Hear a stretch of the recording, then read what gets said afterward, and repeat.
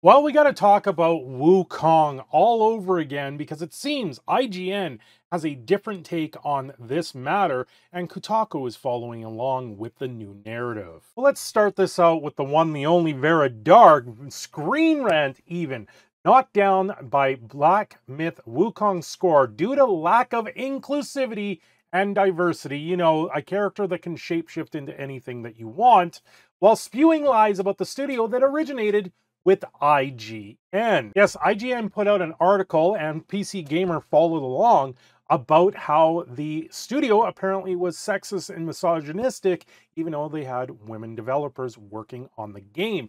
A narrative that was proven false. And now it continues down the road with Screen Rant pushing it along. They're also saying things you know, lacking in inclusivity and diversity here at the bottom. Gameplay becomes repetitive over time and the game performance is unpolished. These are the reviews side of things.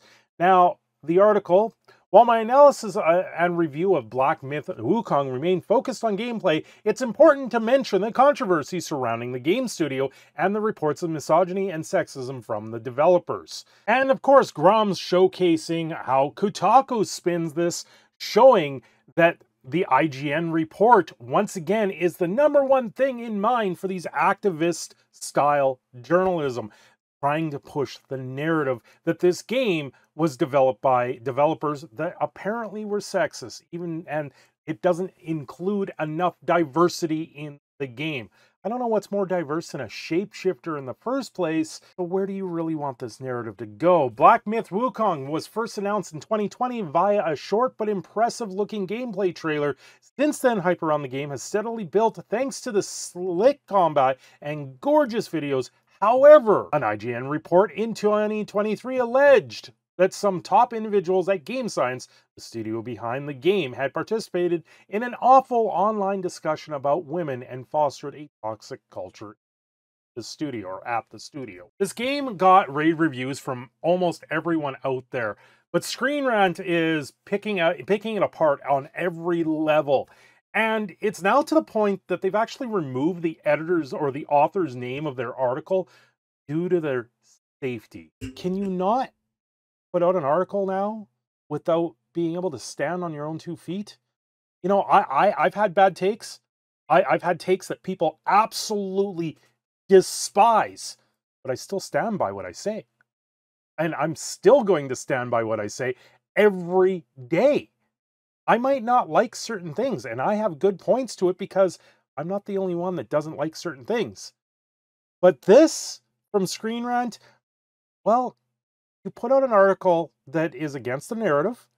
You want to stand on your own two feet against the narrative, then be there, stand there, stand up and own what you said. If you're not going to own what you said, then why are you making the article? Why are you putting it out there?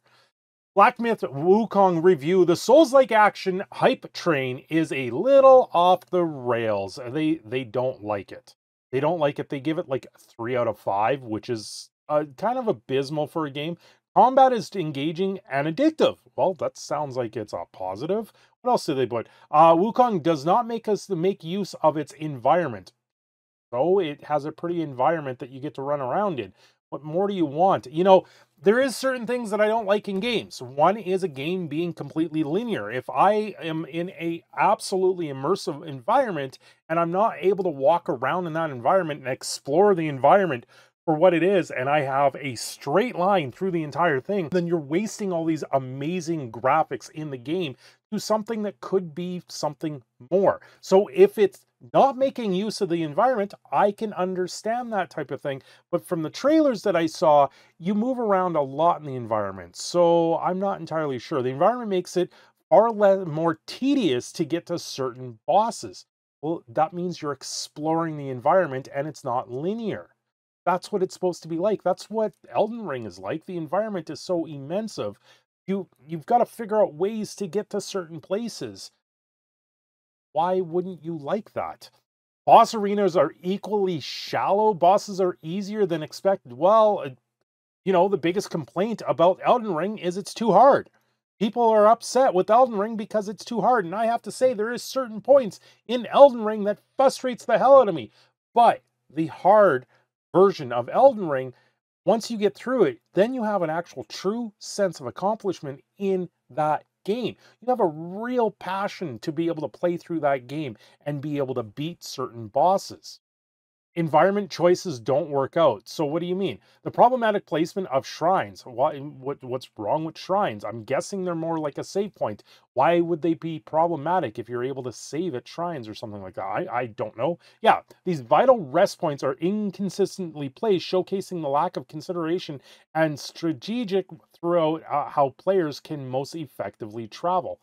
Well, it's a game about exploration. So are are the points that you have here, are they not more for the ex exploration than they are about being able to fast travel? If that if this means the game is placing these in certain locations like that, and you've got to go through the steps to go through certain things again, it means it's going to have a little level of difficulty, and that's good for the player. That means the replayability of the game is going to be there. You're going to miss things the first time through a hundred percent. Uh, enemy and boss encounters are thrilling but repetitive. Uh, enemies have predictable moves. Yes, they choreograph the moves so people can learn the fight and beat it. This is something back from the World of Warcraft days when you're raiding against bosses. This type of choreograph or, or telegraph that bosses will do lets you give you an edge. It means it's repetitive. It means you learn the repetition, you then can defeat the boss and move on. Elden Ring did the same thing. In Elden Ring, it's the exact same thing. You can see them telegraph what they're going to do well in advance.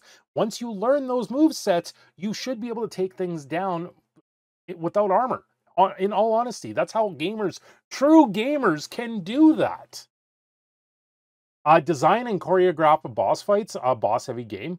Well, that, that's the whole challenge of it, is it not?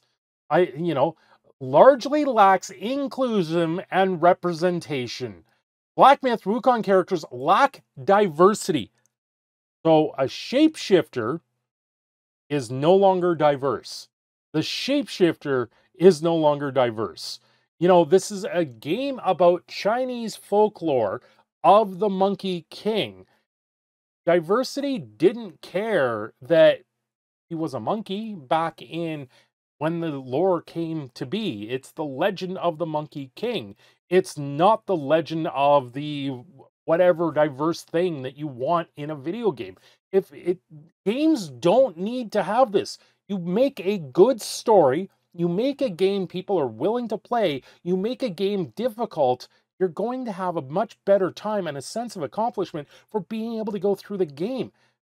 This the, the all these points that they're putting up there means this game is going to be probably one of the best games that we have seen in the last few years.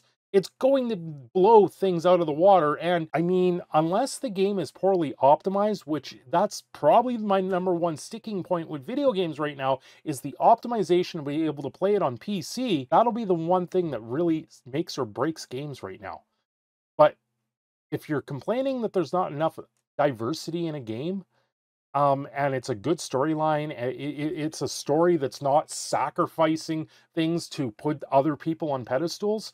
Then it's going to be a good game. And these talking points are absolutely moot for Screen Rant to come out with that. But you know what? I don't do this enough. I have a Patreon. I have YouTube memberships. I have all that fun stuff. If you guys like the content you see here, think about supporting the con me, the content creator today. Uh, pick up a membership or even drop down a what is it a super chat or whatever youtube does lets you leave a tip down below. Anyway i'm your canadian phoenix cinder shadow. I'm signing off here. Have yourselves a great day and i will see you again very soon. Don't forget to like and